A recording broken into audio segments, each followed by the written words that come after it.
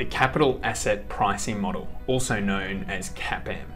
Now, this builds directly on modern portfolio theory and was developed in the mid 1960s. Essentially, what the CAPM shows is what determines the price of individual assets in the marketplace. So we're going to start off with the assumptions of the capital asset pricing model. So the assumptions are listed out here. Again, building on the modern portfolio theory. One, investors are risk adverse individuals, okay, who maximize the expected utility of their end of period wealth. Two, investors are price takers and have homogeneous expectations about asset returns that have assumed to, to have a joint normal distribution. Three, there exists a risk free asset in the market such that investors may borrow or lend an unlimited amount at this risk free rate. Four, the quantities of assets are fixed and that all assets are marketable and perfectly divisible. 5. Asset markets are frictionless and all information is costless and simultaneously available. 6. There are no market imperfections such as taxes, regulations, or restrictions to short selling. So, what's different between the MPT versus the CAPM? Well, essentially the MPT and the CAPM, here's the differences. MPT is the theory of describing demand for financial assets. Now, this can be thought of again as risk versus reward. So, the CAPM is the theory that describes um, an equilibrium situation in financial markets. So, further explaining this, it does this by making an assumption. And this assumption is that supply in the market equals demand.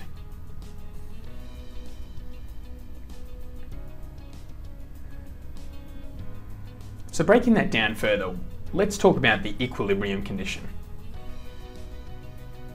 So in the equilibrium condition, this situation in the marketplace, supply equals demand. So the market portfolio consists of all existing financial assets in the marketplace and must coincide with this tangency portfolio. Now, I'll explain what I mean by tangency portfolio in a second. But essentially, this means everyone in the marketplace must own the entire market. So all assets are spoken for.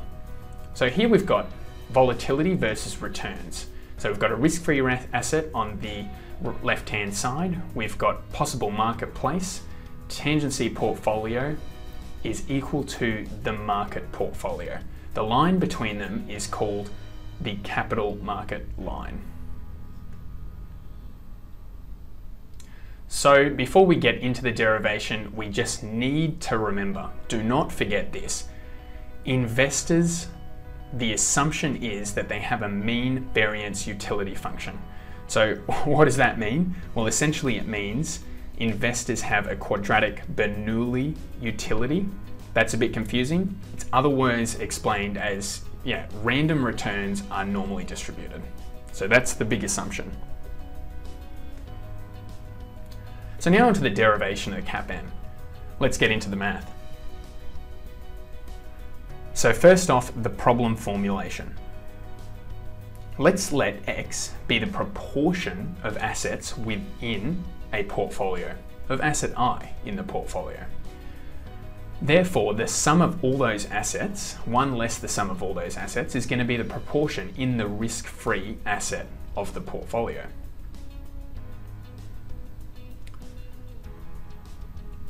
So now the return of that portfolio is just going to be the weighted sum of each of those returns in the portfolio. The variance of that portfolio is going to be sigma p squared, which is going to be the transpose of x times by that variance returns times by x. Now, x is an n by 1 vector of proportions or weights, r is an n by 1 vector of returns, and 1 is an n by 1 vector of ones, where the sum of all those proportions is equal to um, the transpose of x times that 1 matrices. So the expectation of returns is equal to this formula right here.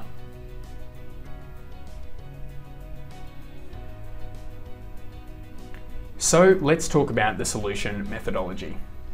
Essentially, it all comes down to investors choose a portfolio to minimize risk for a given return.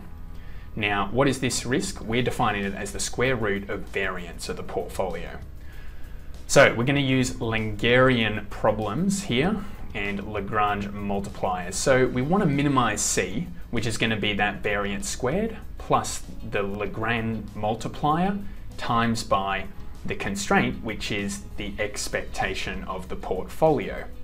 So we want to choose X and minimize um, C under these conditions.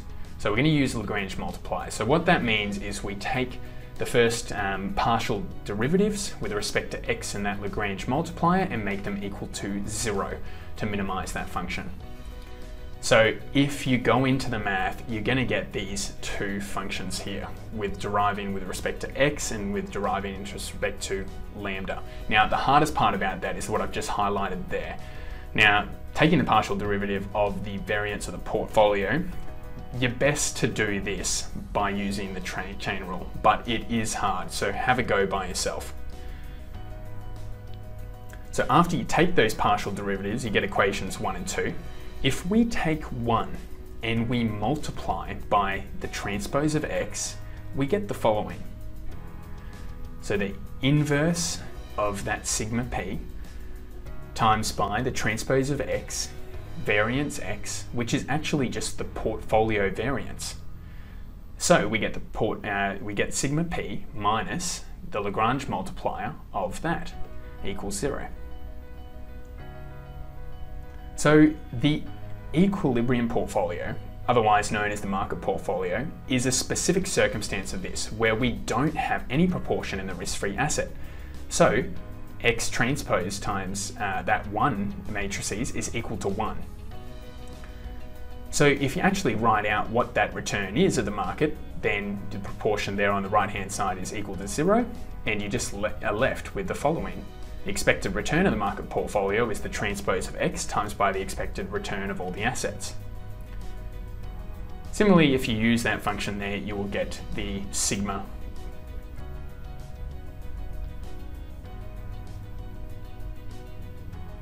So now that we have equation 3, we're going to sub that into equation 1. So the standard deviation of the portfolio Remember that in, in equation one, we had uh, the risk-free rate plus one over the lambda, or the Lagrange multiplier. So I've forgotten to do the plus there, but I'll add it back in a second.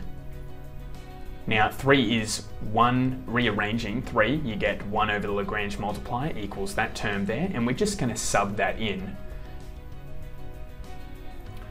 So after you rearrange and sub in, you get that formula there. We're nearly there. All we need to do is notice the variance r times by x. Now, if we remember by definition that the variance of r is actually this expectation here, this is going to help us.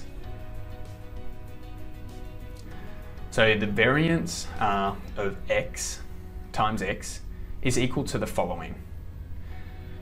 If we actually place that x within the expectation formula, we'll have to take it to the transpose there, but we end up with those two terms there, which if you remember from the other page, was just the market return and the expected market return. So then you end up with this formula and we realize that is just the covariance of all those assets with respect to the market returns. So now, subbing that back in, we end up with a covariance divided by the variance of the market, which is really cool. So remember that the variance um, to the power of 1 was just equal to that, so that's how we ended up with the variance. So beta is equal to this function there, that ratio. So the expected return is equal to the, the CAPM formula as you've got there. The beta is just the N1 um, vector of parameters as you see. Thank you very much for watching. See you next time.